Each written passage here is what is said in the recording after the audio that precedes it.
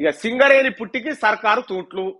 అదో బకాయిలు చెల్లించకపోవడంతో మునుగుతున్న సంస్థ బొగ్గు విద్యుత్కు కట్టాల్సిన పంతొమ్మిది వేల నాలుగు వందల తొంభై రెండు కోట్లు కరెంటుకు చెల్లించాల్సిందే పదిహేడు వేల ఐదు వందల డెబ్బై ఒక్క కోట్లు. రెండు యూనిట్ల నుంచి పన్నెండు వందల మెగావాట్ల ఉత్పత్తి విద్యుత్ ఉత్పత్తి. ఆ రెండింటికి ఏర్పాటుకు ఆరు వేల కోట్ల అప్పు. మరో ఎనిమిది వందల మెగావాట్ల యూనిట్ ఏర్పాటుకు యత్నాలు దానికి మరో ఆరు వేల ఐదు వందల కోట్ల అప్పు తెచ్చే యోచన. సర్కార్ తీరు ఇలాగే ఉంటే సింగరేణికి వైజాగ్ స్టీల్ గతే. సింగరేణి పరిస్థితి ఏడికి తెచ్చింది చూడు.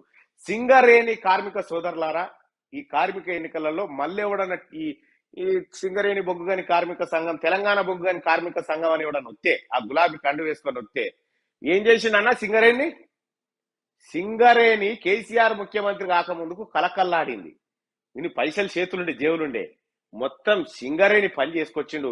ఇంకా నాలుగు రోజులలో సింగరేణి కథం అయిపోతుంది సింగరేణి ఉండేది అని చెప్పుకోవాలి అంతే. మొత్తం దోపిడేనాయ కుటుంబం అంతా. ఆ ఇక చర్చకు సిద్ధమా? సింగరేణిని ప్రైవేటీకరిస్తోంది రాష్ట్రమా కేంద్రమా? సీఎం కేసీఆర్కు బీజేపీ నేత ఈటల సవాల్. వైజాగ్ స్టీల్ ప్లాంట్ కొంటామంటూ డ్రామాలు. తొలుత టీఆర్ఎస్ టీఎస్ఆర్టీని కాపాడనని చెప్పి ఎద్దేవా చేసింది. అయ్యా ఈ ఏట్లరాయి తీయలేనోడు కూట్లరాయి కూట్లరాయి తీయలేనోడు ఏట్లరాయి తీయబోయిందట గమ్మని ముచ్చట ఏంటంటే ఈయనకే అంగిరాగు చక్కగా లేదు. ఈయన పోయి ఇంకా దానికి వైజాగ్ స్టీల్ను కొత్తగా కొత్త బట్టలు కొట్టిస్తా అని చెప్పి కేసీఆర్ అంటా ఉండు.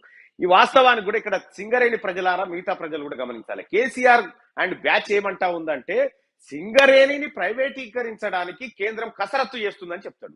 కేంద్రం వాటా నలభై తొమ్మిది శాతమే. రాష్ట్ర ప్రభుత్వ వాటా యాభై ఒక్క శాతం. యాభై ఒకటోడు పెద్దోడా నలభై తొమ్మిదోడు పెద్దోడా? ఈ యాభై ఒక్క శాతం అనేది ఎందుకుంది అనేది ఒకసారి మనం ఆలోచన చేయాలి. యాభై ఒకటి అనేది ఎందుకుందంటే ఒకటి ఎందుకు ఎక్కువ ఉందంటే అధికారాలు నిర్ణయాలన్నీ రాష్ట్ర ప్రభుత్వం చేసేటట్టు ఉంటుంది. మరి కేసీఆర్ ఇప్పుడు సింగరేణి కార్మికులకు బోనస్ ప్రకటిస్తారు. మరి కేంద్రం ప్రకటిస్తలేదు ఎందుకు? నువ్వెందుకు ప్రకటిస్తున్నావు? అంటే ఇది రాష్ట్ర ప్రభుత్వం అజమాయిషిలో ఉంది కాబట్టి దాన్ని ప్రైవేటీకరించాలన్నా మూసేయాలన్నా దాన్ని నాశనం చేయాలన్నా కేసీఆర్ చేయాలి. ఇది కేంద్ర ప్రభుత్వం చేసేది కాదు. ఈటల రాజేందర్ సవాల్ కరెక్ట్.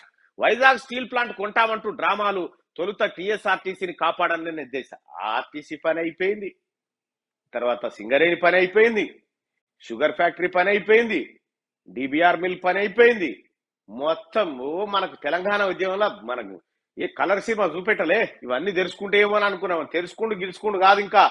అజామాబాద్ ఇండస్ట్రియల్ ఏరియా ఉంది కదా ఆ భూములు అమ్ముతాడట కేసీఆర్. ఏది? ఆ వజీర్ సుల్తాన్ టుబాకో కంపెనీ ఆ తర్వాత చార్మినార్ కంపెనీ ఇవన్నీ ఉన్నాయి కదా. ఆ కంపెనీలన్నీ అమ్మేస్తారట. ఆ భూములన్నీ అమ్ముతారట కేసీఆర్. ఇప్పుడు వాళ్ళు అమ్మితే తప్ప ఇప్పుడు జీతాలు ఇచ్చే పరిస్థితి లేదు. గీడి తెచ్చిన కథ. తలే అమ్మి చెప్పులు కొనే కార్యక్రమం అయింది.